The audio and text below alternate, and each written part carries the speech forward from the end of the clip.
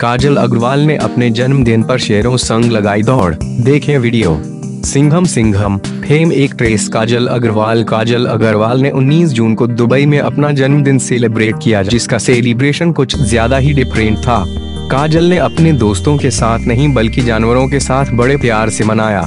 काजल काजल अग्रवाल ने इसके video social media पर शेयर किए हैं। आपको जानकर आश्चर्य होगा, लेकिन यह सच है कि काजल काजल अग्रवाल ने अपना जन्मदिन भालू को फल, जिराफ को पत्ते और मगरमच्छ को मीट खिलाकर मनाया है इतना ही नहीं, इन वीडियोज़ में काजल काजल अग्रवाल शेरों के साथ दौड़ लगाती भी दिख रही हैं।